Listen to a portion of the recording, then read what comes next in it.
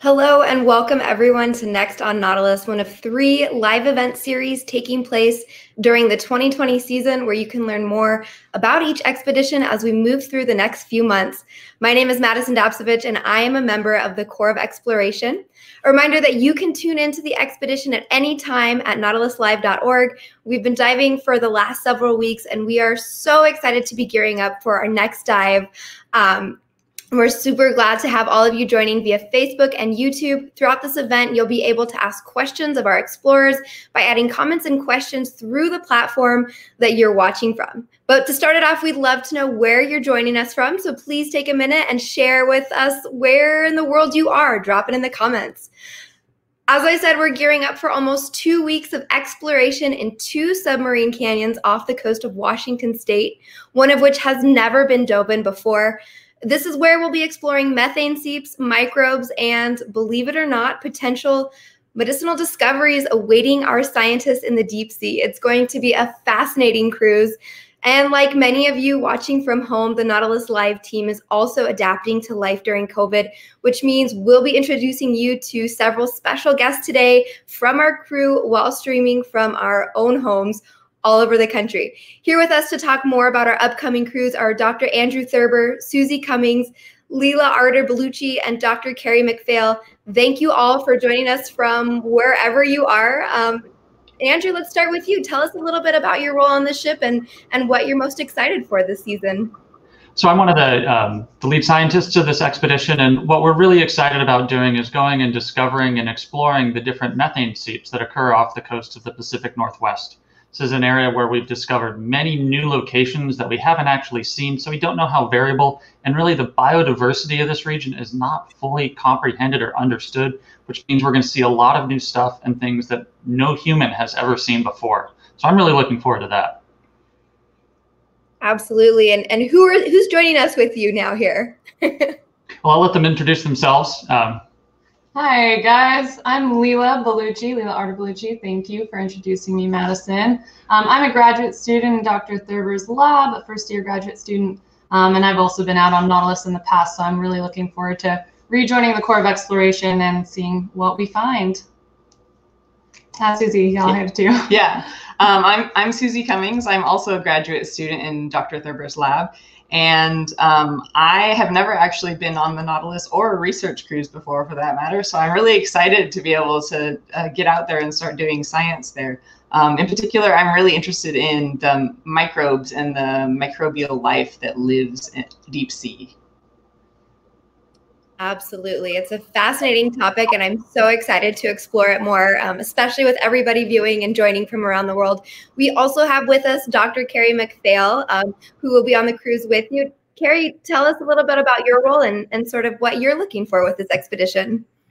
Hi, Madison. Thanks. Well, yeah, I um, I'm a professor of natural products chemistry at Oregon State University, and so just as Andrew Thurber mentioned biodiversity, I'm interested in the chemical diversity of these methane seeps.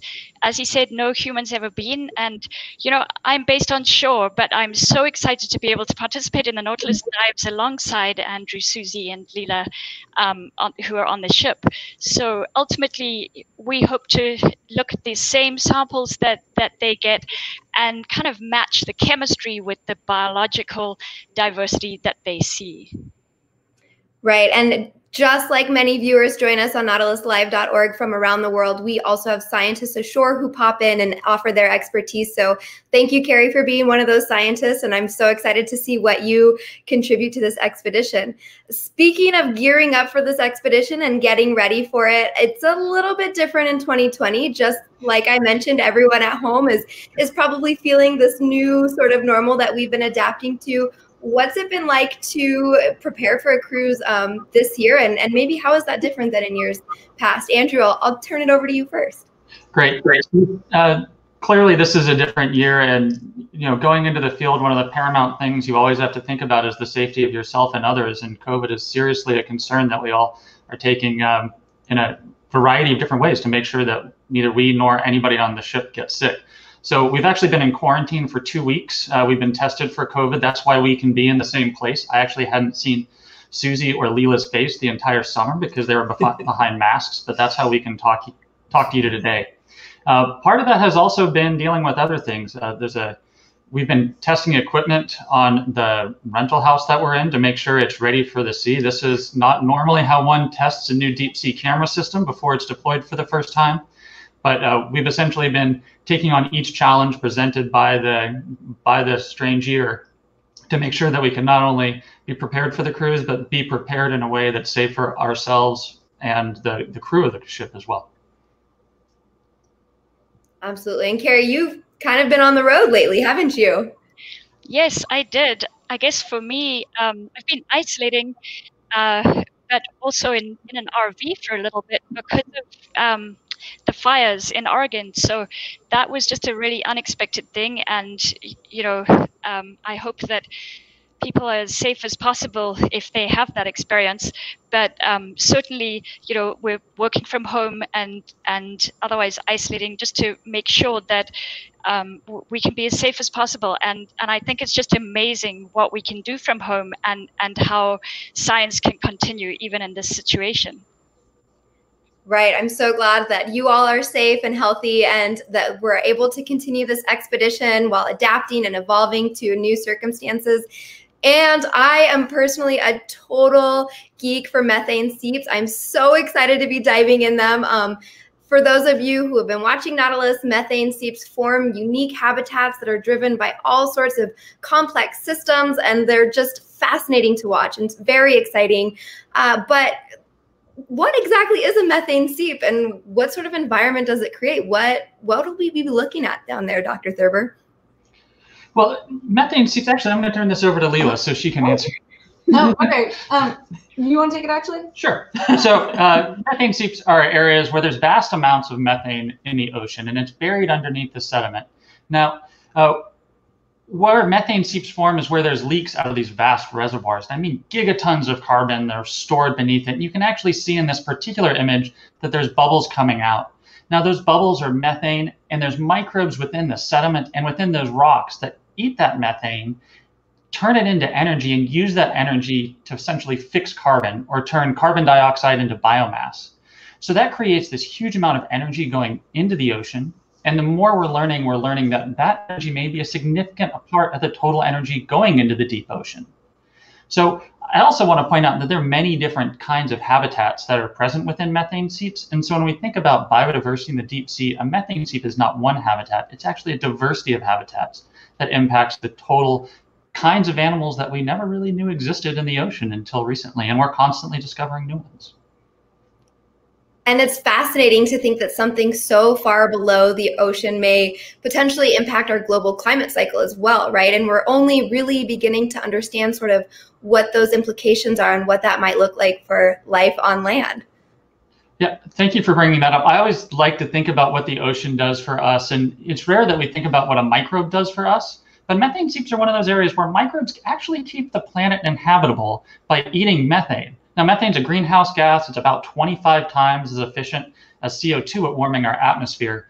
And so as it releases, if it got into the atmosphere, that would be really bad for us all. Society, global warming, all of these concerns, global climate change could be uh, sped up by that. But almost all that methane is actually eaten by microbes. So we like to call it an ecosystem service, that these microbes are making the planet, independent of where you live, a place where humans can live. Now, Methane's also going up in the atmosphere. We don't know why. We also know that as we warm our climate, we're going to be impacting some of these cycles. So the more we can learn about how these microbes are really saving us as a society now, will help us be able to predict how they're going to change as we change our planet. It's amazing to be learning about this. And we do have a viewer question. Uh, one of our watchers is wondering how much of this methane makes it to the surface, or are we able to measure that? So we are able to measure it, and the good answer is very little. In fact, when we look at the total global methane budget, deep sea methane seeps are not a number that we're incredibly worried about because we have two things, microbes and physics, that both help us in that regard. So even if you see a bubble coming up, that methane is actually pulled out of that bubble simply due to gas physics. And then you also have more microbes in the water column that further eat that. So currently, the total amount of methane that's making it into the atmosphere is quite low. However, while we do know that some numbers in our global atmosphere are quite good, we know why we put more or how we put more CO2 in the atmosphere. there's a lot of ambiguity around methane seeps. And so we also want to understand how things change as you go from a shallow seep, where you're closer to the atmosphere, to a deeper seep, to make sure that our understanding, which we think is fairly rudimentary, how that actually plays out when we understand the diversity of seeps across shallow depths to deep depths, to make sure we're not making assumptions that impact our ability to understand our future Earth. Absolutely. And a lot of the scientific efforts that are focusing on deep sea methane seeps aim to better understand that role that they play in both oceanic and human ecosystems, just like you touched on. Leela, can you explain what the ocean's blue economy is and that role that methane seeps play in it?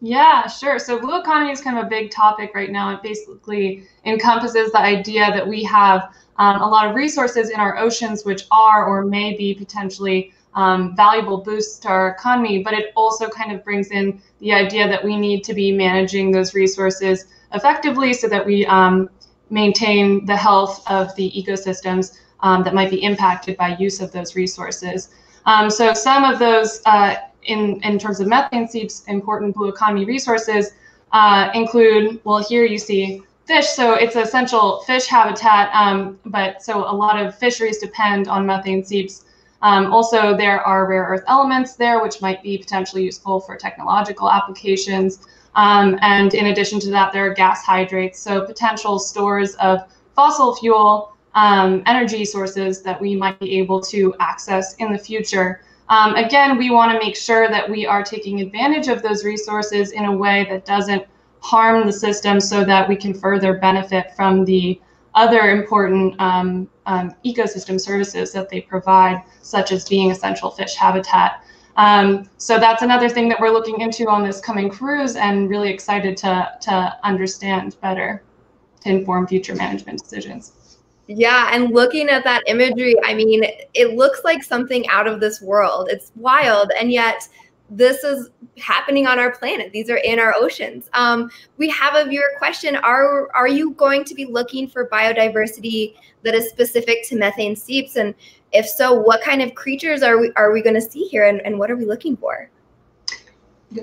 So that's a great question, and actually one of the things we're really trying to do on this cruise is not only look at the biodiversity at seeps and discover whatever might be there, but we've spent a lot of time doing that and sort of, I'd like to say, studying the oddities that have really shaped science in a different direction than we ever expected.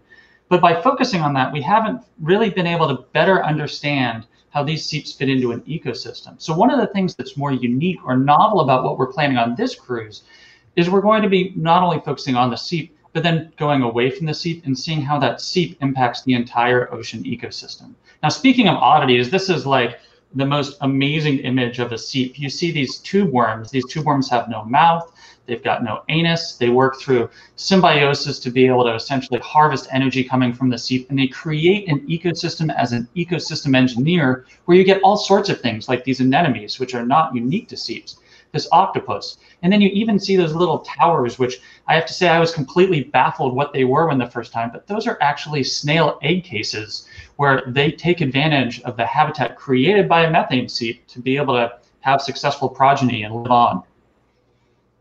Wow. I mean, that looks like a dream that I just had, I swear. and speaking of all of these crazy creatures, there are also among them some forms of bacteria um, or microbes that are even able to use methane seeps to make food through a process called chemosynthesis. And my understanding is that chemosynthesis is pretty similar to how plants photosynthesize on Earth, but with chemicals. Susie, do you want to explain that? sure. Yeah. Um, so the main idea with chemosynthesis, um, in terms of its parallels to photosynthesis, so what we're used to on land in terms of plant systems is that plants are getting their energy from sunlight and then using that to turn carbon dioxide into biomass, into um, sugars, into actual carbon compounds that can be used by various other creatures and organisms in um, the ecosystem. And so how that applies to methane seeps is they are also using carbon dioxide to create biomass, but the way what they use for energy is actually the methane at the seeps because they're so deep in the ocean that sunlight can't actually get down there. So the, the bacteria and archaea and other microbes that are at the seeps use the methane um, as well as other chemicals that are present at the seeps in order to create energy. So the methane at the seeps isn't actually very energetically favorable. Uh, they're it they're basically running on um, the minimal capacity needed for life, uh, but they do this th through these really cool partnerships between um, different microbes. And there's plenty of methane, and so they just use lots and lots of it in order to give energy. Very cool. And we have a viewer question that I'd love to turn to because I'm also curious. Are cold seeps actually cold? and what exactly is a cold seep? How does that differ maybe from methane seeps or hydrothermal vents or these other features that we're looking at? So cold seeps are not cold, they're just not warm. And that's to really just contrast them with hydrothermal vents. Uh, they form through different geologic structures. Essentially, hydrothermal vents are where continental plates are pulled apart or forced together. That's not uh, what leads to methane seepage. So they're different geologically, but what it really comes down to is they're just not hot. And so we call them cold seeps. Methane seeps, cold seeps, those are the same thing. We just use slightly different terms for it, uh, depending, mostly when we get tired of saying one or the other, we'll switch back and forth. you could start throwing in like a tepid seep or a lukewarm seep. There's been a, some of those discovered recently, but that's a different story. that's another live event series next time.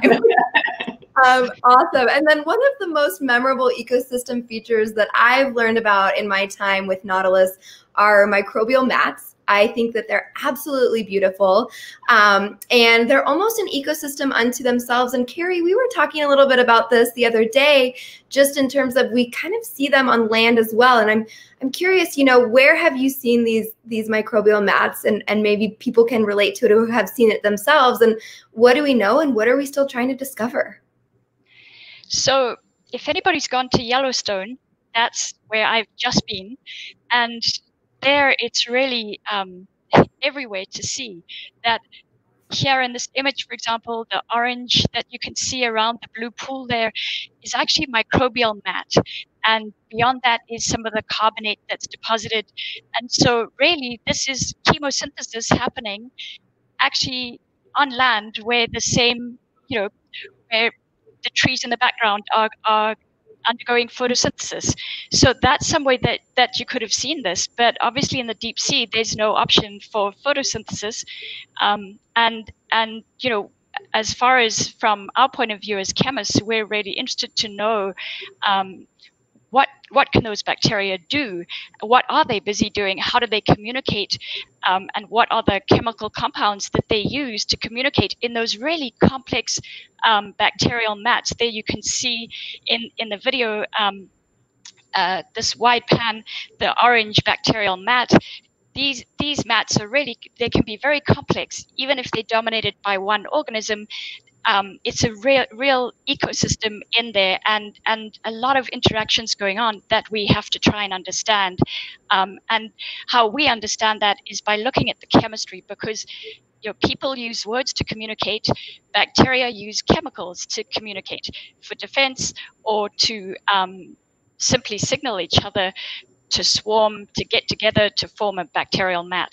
So um, that's what I just found fascinating about being in Yellowstone was that um, we can see it above, you know, on land and then below at the really great ocean depths. And here you can see another photo from Yellowstone, just close up these little um, kind of towers formed. Actually, the scale is is is, is hard to um, show, but this is a real close up um, in the one of the Yellowstone pools. So all that orange in between is, is the bacterial mat, and it's built up these towers of um, mineral deposits because really these bacteria are forming rock or eating rock. It's amazing. And it's also amazing that you can see these microbial mats both on nautiluslive.org and in the deep ocean. And if you're visiting Yellowstone, I'm in Montana. I live here and I've been to Yellowstone ton of times and absolutely find those pools amazing. And we previously thought that, you know, bacteria was was more of a simple organism and, and we're learning that they're actually quite complex. Um, Susie, this is a question for you. What role do microbes play in these ecosystems, in these deep sea ecosystems specifically, and why are they so valuable to the organisms that call these places home? Yeah, so as I was talking about a little bit earlier, um, uh, the way that plants are kind of the base of the ecosystem on la- land, or I guess in some cases there are areas like Yellowstone that are similar to um, methane seeps. But in both of in Yellowstone and in deep methane seeps, um, microbes are the basis of the ecosystem. They're the creatures that are producing all of the food and um, the energy that is being input into the system there. And so there are um, microbes that directly eat the methane, uh, but there are also um, all sorts of other microbes in the system that eat the different chemicals that are present at methane seeps. Um, and interestingly enough, there are also animals that live with microbes inside them. And so the microbes in there are used to eat the chemicals at the seeps. And so, for example, uh, different tube worms and mussels um, have microbes within their tissues that are used to gain um, uh, the chemicals from the methane seeps so that these animals can actually live. And um, as has been shown in many of these different videos, there's all sorts of other animals like fish and um, octopuses uh, like this that go down to the seeps and consume the energy that is made there. And so the octopus is probably eating some of the clams that are there um, just hanging out deep in the ocean. And there's all sorts of other mobile animals that, that can move around seeps and then also eat the energy that's provided there by the microbes. Yeah, Susie, I might add something to mm-hmm. that. I think one of the things that we've really been a sort of a switch in our thinking about methane seeps in the ocean has been in the last few years, we've gone from knowing of a handful off our coast to now we know of more than 2,500 off the coast of Oregon, Washington, and Northern California. And that's not unique to this area. That's just the place off my front doorstep. Mm-hmm. so these are no longer sort of unique little pockets that may be putting out a little bit of energy, but really their swaths are just massive amounts of areas that are just shunting energy into the deep sea. And we've done some calculations. It actually looks that about 7% globally of the energy that's making into the deep sea comes from these seeps, in part just due to their completely unexpected abundance off of our coast and most people's coasts and there, like I said, we have so much interest from our viewers about these methane seeps. We have a question from Jacob um, who wants to know, you know, obviously there's so many animals and, and deep sea organisms that benefit from methane seeps, but are there some that can maybe get hurt from them? Do we ever see deadfalls from animals who are located too close or maybe swimming too near these methane seeps? So that's a great question. And it's also a really sort of complicated question in some regard. So methane results in the formation of hydrogen sulfide as a byproduct of those microbial processes. Hydrogen sulfide is toxic. You really don't want to have a lot of it. It's not good for our blood. And so there's this very likely chance that that sulfide could be toxic to different things. Off the coast here, we haven't seen that so much, and instead we've seen really perplexing patterns. Things like Dover sole sitting on top of hydrogen sulfide mats that should not be able to do that based on our understanding. So we think there's a lot more going on than sort of a rudimentary understanding of sulfides toxic and bad. And yet we, we don't see massive dead critters laying on top of the seeps, although that's definitely a possibility where there could be some toxicity. We do see changes in the sediment and the animals that can live there, and a lot of that is tied to can you live in a highly sulfidic environment? These little white patches you can see on the screen, that's highly sulfidic sulfidic. You don't see clams there because it's not an environment that they can live and they're adapted to seeps. But it really changes the fauna and we're better understanding the sort of limits of life of a variety of taxa, including those that are not only found at methane seeps. Right. And among those are something that I'm super intrigued by are these sort of discoveries that we're making when it ter- comes to medicinal potential in the deep ocean. So, as many of you probably know, bacteria on land can be used to make antibiotics and vaccinations and pharmaceutical products that we use every single day. Um, and Kerry, you are going to be working kind of exploring the potential of deep sea bacteria that really we're again only beginning to tap into, uh, you know, and how they might fit for medicinal purposes. Um, it's something called bioactive pharmaceutical and biotechnological compounds, which is a total mouthful. Can you kind of explain that to me? Like pretend I'm in kindergarten. Well, you know, literally, a biopharmaceutical is a pharmaceutical drug, say a medicine that you would take um, that comes from a biological source or it's made in a biological source like a microbe. Um, and so, what we're really getting at here is that probably many of you know that bacteria on land are used to make antibiotics, and perhaps you've all even used Neosporin um, antibiotic ointment, you know, the uh, gel, and that's an everyday product that actually um, was discovered and is made by a soil bacterium. Um, uh, or several in, in that case. So um, we're just beginning to see to realize actually that um, bacteria are highly creative chemists, much more so than humans. Um, really, the expert chemists um, that make chemical compounds with molecular structures um, that that humans could only imagine. Um, so you know, many of these um, bioactive compounds, we also used to think, well, they come from plants or other macroorganisms like um, sponges or sea squirts. And so here you can see actually a deep sea sponge um, with a fish next to it. Why would it make a cancer drug because in fact there are approved cancer drugs one called halaven for triple negative metastatic breast cancer. Um, but so sponges would produce chemicals to protect themselves from being eaten perhaps by predators like fish or even just to compete for space um, where they are. That's obviously maybe not such a big problem in the deep sea.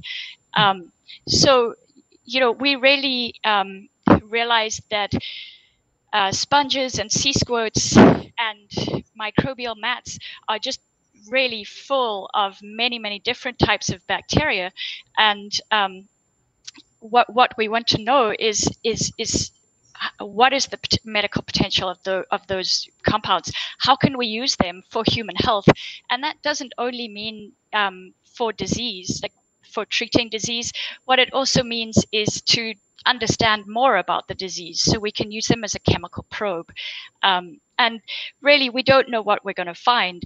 We we just have the ability now to go and look and decide whether it is something useful um, or potentially useful or not. Um, because one thing that people often ask me, perhaps I can eh, prevent a question here, is that um, why would we think that there's something down in the deep ocean where humans have never been that would help humans?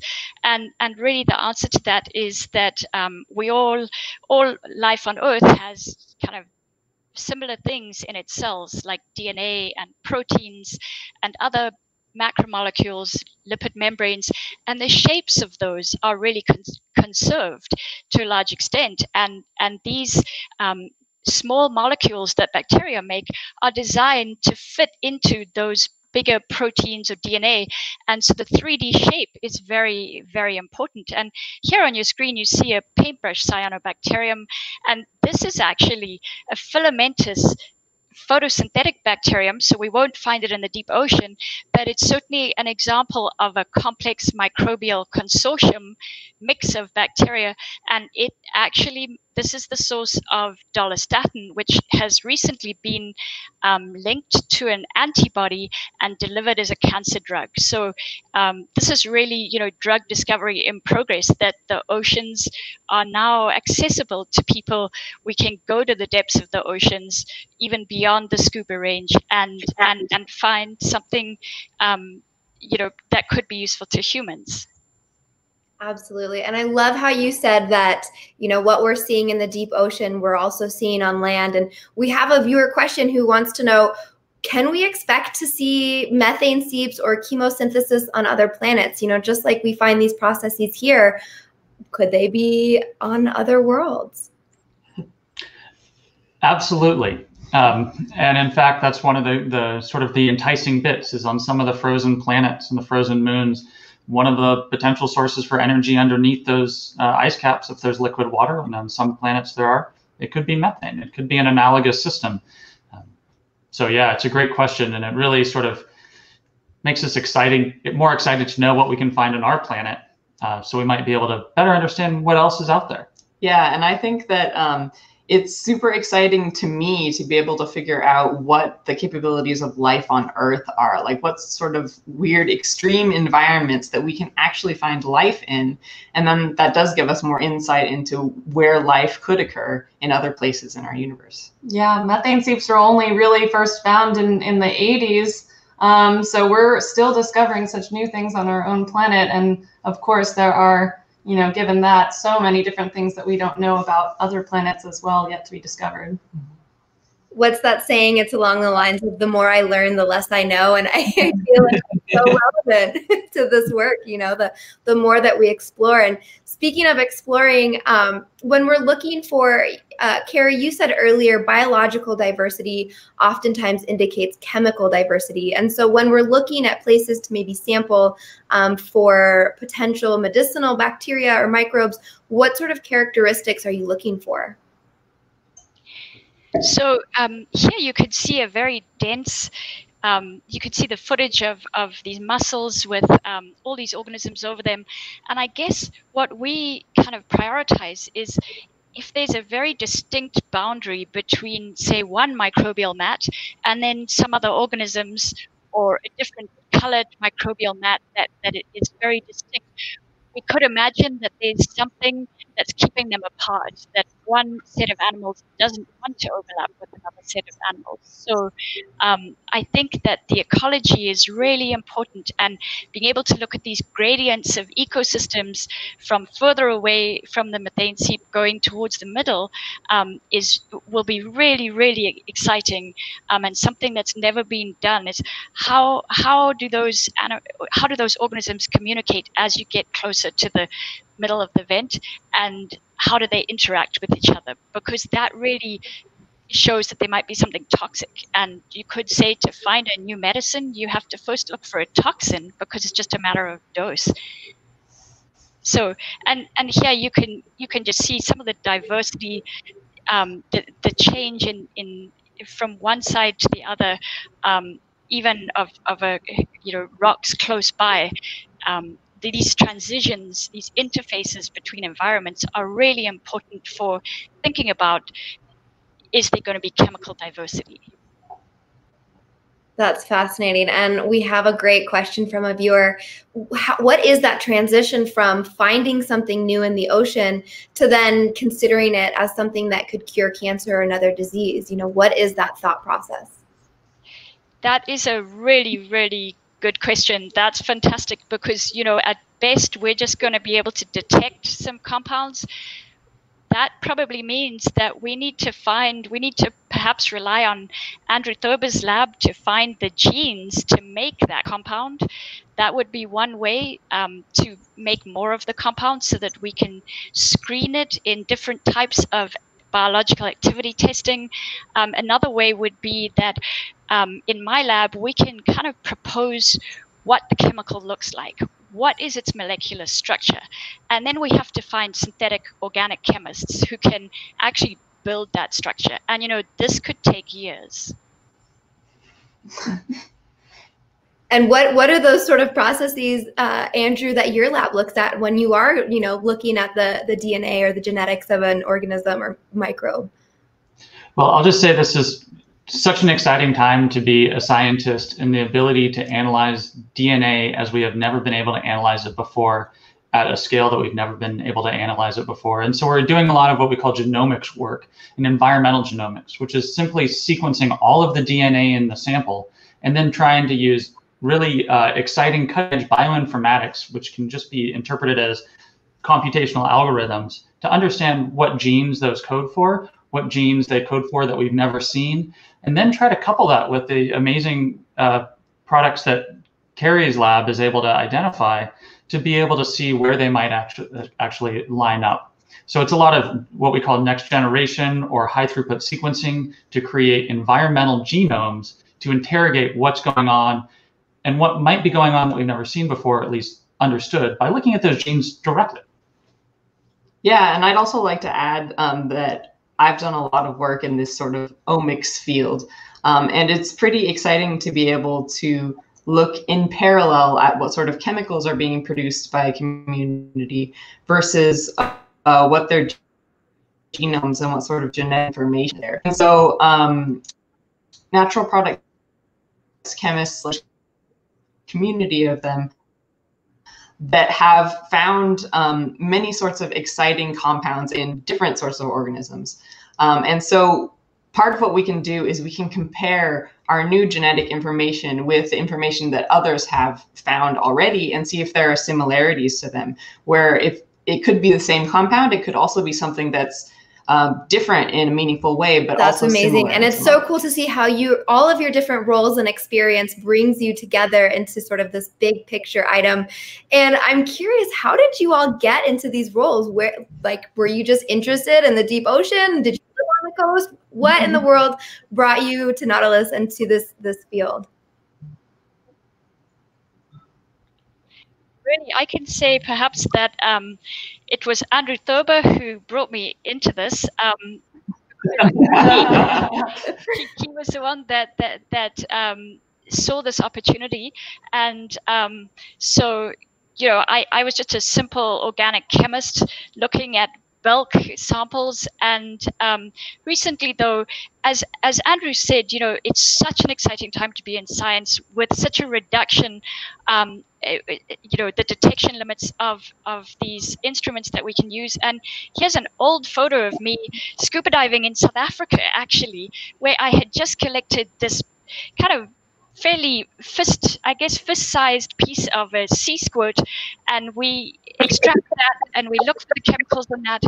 But um, more more recently, what we're able to do is just use mass spectrometry, and as Susan said, take advantage of comparing, comparing different um, mass spectrometry signatures with those that other people have found as well and using this informatics bioinformatics or chem informatics um, technique. So we're really excited about that and i guess that just scuba diving in the ocean um, got me interested in this in the first place. Well I'll chime in and say that I would definitely not call Kerry um, feel a simple organic chemist. Uh, one of the reasons why I was excited by this opportunity is that going to sea creates the opportunity for collaborative research, and through collaboration, we can advance science at a, a rate that's just not possible otherwise. And the ability to collaborate with Kerry and her lab has essentially created this opportunity to approach questions of the blue economy, which we really didn't have. Um, I have to say, where I came from is uh, I was always enamored. Um, I mean, the ocean calls to me. The uh, and I, from a young age, wanted to study ocean ecosystems. Uh, this is me fishing with my grandfather um, many, many years ago, as you can tell, uh, and learning about what the ocean does and how the ocean fits into society. And, and since then, I like to con- kind of consider myself an academic hobbit, where when I leave my front door, I don't know where I'm going to end up. I never, I never expected to study the deep sea or to have these opportunities, but the excitement and the possibilities to uncover unknowns about the world that can help inform us and our future actions and inform management is just an exciting thing and a, and a great path to take. Awesome. And we, we have a viewer question as well. What does it take to get on EV Nautilus? And Leela, I'd love to hear a little bit about your experience and what you brought what brought you aboard the ship. Yeah, sure. Um, so I guess where I'm coming from, I first became interested in marine science as an undergraduate uh, at Eckerd College, where I studied marine science and got my bachelor's. Um, and but it was really after Eckerd that I first became super interested in, in deep sea habitats. And so um, I went out on the EV Nautilus first as an intern, um, as a science and engineering intern uh, through that program uh, through OET. So I went out to the Papahanaumokuakea Marine National Monument. Um, that's me in the center there in front of our ROV Hercules. Um, and we had just collected some samples. And so that's where I became really interested in deep sea research and um, being that that was a marine national monument, also in how we manage uh, those ecosystems and um, how we might better conserve them in the future. Um, and also, there's just so much that we don't know about uh, waters under U.S. jurisdiction, like Papahanaumokuakea. That was the first time that anyone had dove in that area. So there's just really so much to be discovered, and it's really exciting. You can always tell who's been on a cruise in that part of the world because they can pronounce it. yeah, we did get training on that ahead of time. and Susie, you shared with us a really amazing photo of you getting into science at an early age. What brought you aboard EV Nautilus? Yeah, um, so it's it's been kind of a long journey for me. Um, I have been interested in science from a pretty young age. Um, if this picture ever shows up, then I will be able to show you. So here is a picture of young me at some aquarium touch tank. And I, um, so I have this photo and then I also turned it into kind of a scrapbook sort of thing where I wrote on the side, a leopard shark, cool. So that's been pretty much my uh, approach to things ever since. Whenever I see something like a new organism or an animal or something, I'm just really excited being able to see that. And so that's what's so cool about um, the, the Nautilus is that you get to watch this footage in real time and then people can say, oh, hey, there's an octopus and it's there. Um, but basically, in terms of my kind of academic background, oh, look, an octopus, cool. um, yeah, but in terms of my academic background, I knew I was interested in biology um, in high school and before that, but um, I didn't really know that I was interested in microbiology until I got to college. And another thing that I kind of discovered in college was I was at UC San Diego at the Scripps Institution of Oceanography. And so, what was really cool to me was how integrative that um, oceanography was as a field. It's not only just focusing on the biology or the animals or the microbes, but it's also focusing all, on all the different physical aspects of the ocean, um, on the chemistry of things, on the way that uh, the water and the air moves and how all of these systems kind of integrate into the entirety of life on earth and earth systems and so that's what's super exciting to me about doing o- ocean research I might just uh, jump in that one of the things I like about the photo of Susie at a young age was that she's in a science learning center a touch tank to essentially get excited about the ecosystem. And one of the things that I love about the Nautilus, and I really am excited for all the people that are listening in, and I hope you'll join us at sea, is that our greatest barrier to people understanding the deep ocean is just that they don't know what's there. So tune in and see what's there, because having people see what's in the ocean and learn what's there is really the first step to understanding and caring about an ecosystem, and it'll help inform future decisions. Yeah. Absolutely. And we say this all the time, you know, to get started in science and to get started in deep sea exploration, it starts with a keen sense of interest. And so, really, you know, having that excitement and that motivation, I think, is great advice to getting anyone excited and into the field and, and at least starting that way. And, you know, just as we're looking towards in this next our last couple of minutes here i just want to ask you all what are you most looking forward to during this cruise and what do you most want to see? A, a viewer actually asked that question so i can't take credit for it. Kerry how about you? Um you know i guess that i've never really seen the methane seeps live as they are discovered as as an animal walks across the screen um, and so to actually see them and be able to make a decision right in the moment of, oh, let's go and have a look at it. And so you know that for me is is is what i'm most looking forward to. And just the interaction and being able to learn from the scientists and other people who are right there on the ship um, is a great opportunity. Awesome. Andrew what are you looking forward to if I've learned anything from going to sea, it's that I never know what I'm going to find and I never find what I'm expecting to find. so I'm looking forward to being proven wrong or right, depending on how you interpret that. uh, I'm looking forward to finding um, something I've never seen before or we don't expect to find on this side of the coast. I'm looking forward to the unknown. Yeah, um, I guess I'm just really looking forward to being out here as a graduate student. Um, I've been out on Nautilus twice before uh, as a member of the science management team. And so now I'm really looking forward to doing both that again, but also um, being out as a graduate student and having the research that we're doing pertain to my own research that I'll be getting to conduct. So um, just really excited for that new experience. Yeah, and I would say that what I'm most excited about is actually the collaborations between all the different cool scientists that are working on this. And so um, we've got our science team on board, but then we're also going to have a lot of different collaborators that are coming in through um, remote scientists at shore program. And so that includes Carrie, but it includes also the folks that we're working with at the, um, the Olympic National Marine Monument. Sanctuary. Sanctuary. Sorry. but, but basically the, the idea is that like all of these folks have their different perspectives and different areas of focus. And so it's really cool to hear things from perspectives that I didn't expect and that um, it's really interesting to see how all of these different puzzle pieces fit together. Awesome. And I am most excited to be tuning in live at nautiluslive.org, listening to your voices and just being a part of the expedition with you all, even though I'm not even on the coast. I, I can hardly wait.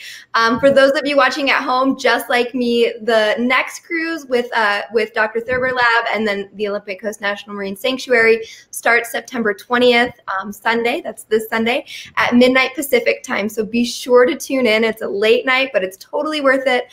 Um, and actually, what just just started while we were on this call is the last cruise of the uh, Ocean Networks Canada dive. So I, or the last dive of the cruise, I should say. and so I encourage you again, tune in. It's going to be a great one. We're really, really excited. And just as, as a reminder, if you like today's event, tell your friends and colleagues and check out upcoming events on the education page on nautiluslive.org. Our next event will be the second part of the expedition overview, so similar to what we did today, um, next on Nautilus, diving in the Olympic Coast National Marine Sanctuary. so be sure to check that out. Um, and again, we will see all of you at nautiluslive.org. Thank you so much for joining us. And thanks all for Yeah, absolutely. see you next time.